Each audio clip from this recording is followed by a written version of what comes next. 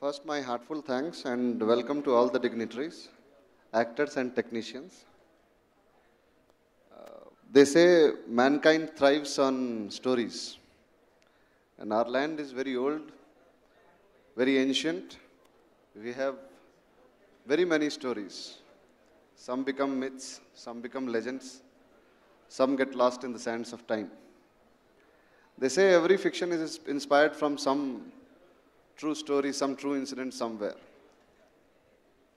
And with an aim to tell the stories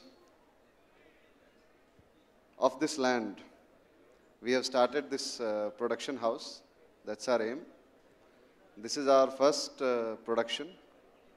And we believe that even in today's date, people, there are many people who don't like uh, um, uh, stories uh, like uh, religious stories or things like that. Even they thrive on gossip.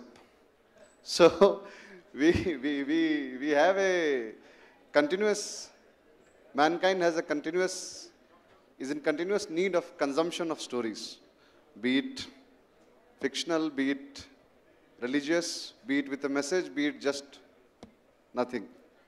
That is the elixir that uh, feeds all of us. And uh, this is our first production. Uh, we, for the first production, we choose uh, this Thaggedele movie, which is inspired by Dandupalyam gang and, and its incidents. Of course, it's a fictional story, but again, based by on real life events. All the actors have done very hard work. They have done it at the time of COVID. The second COVID wave, when it was hitting very badly, at that point of time, the shooting was going on. And uh, one thing that amazed me in this industry, as it is my first production, that right from the spot boy to the top actor, they are in this industry from with a lot of zeal, lot of passion, and all that has been put into work in this production. It's a fantastic uh, piece of art that has come out. I request everybody, all the audiences, to come out and watch it.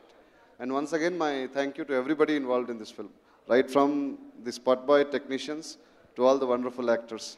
Thank you. Thank you. Thank you. And once again, wishing you all good luck for Taggedele. And Divya? um, extremely uh,